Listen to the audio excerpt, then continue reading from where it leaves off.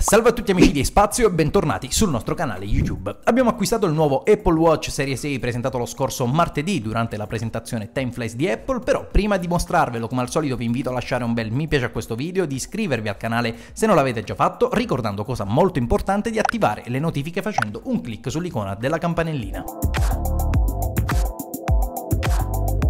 Nel video riassunto pubblicato a fine evento abbiamo già parlato delle caratteristiche e delle funzioni introdotte da questo modello, cosa che andremo a vedere naturalmente dal vivo fra un attimo. Tutto sommato il Serie 6 non si allontana molto dal Serie 5, cosa che notiamo subito anche nel packaging che è praticamente lo stesso, forse solamente leggermente più sottile per via dell'assenza dell'alimentatore USB. Naturalmente si tratta della stessa assenza che riscontreremo anche con i nuovi iPhone 12 a ottobre perché Apple a quanto pare ha deciso di intraprendere definitivamente quella via che si rispecchia fin da subito anche sugli Apple Watch nel Serie 6 come nel nuovo SE.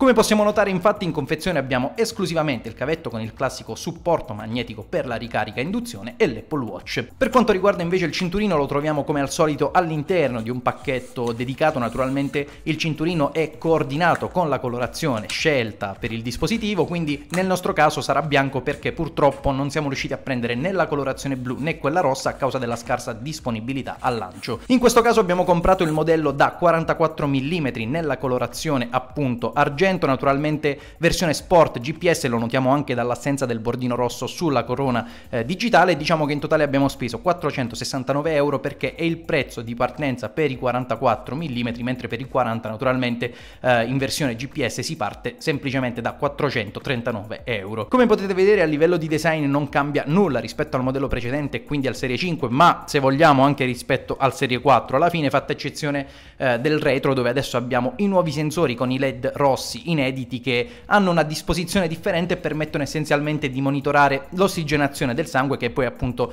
eh, una delle novità introdotte da questo modello e che vedremo fra un attimo. Oltre alla nuova watch face con la Mimoji che è una novità introdotta da WatchOS 7 vi mostro subito la peculiarità di cui parlavamo un attimo fa che rende immediatamente diverso quindi il dispositivo dei precedenti ovvero la funzione che permette di monitorare l'ossigenazione del sangue.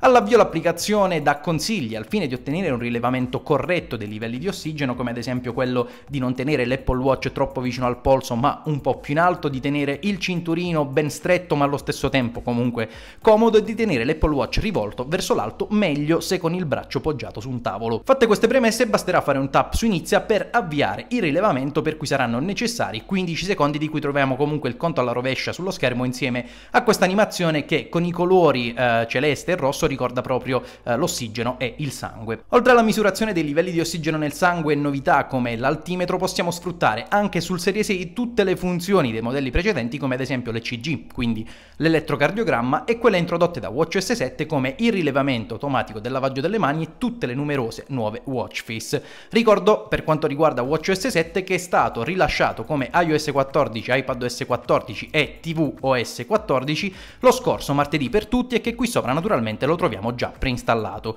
Prima di chiudere vi ricordo di lasciare un bel mi piace a questo video, di iscrivervi al canale se non l'avete già fatto ricordando di attivare le notifiche facendo un clic sull'icona della campanellina e seguirci su tutti i nostri social. Io sono Rocco Zaccaro e vi do appuntamento al prossimo video sempre qui su Spazio.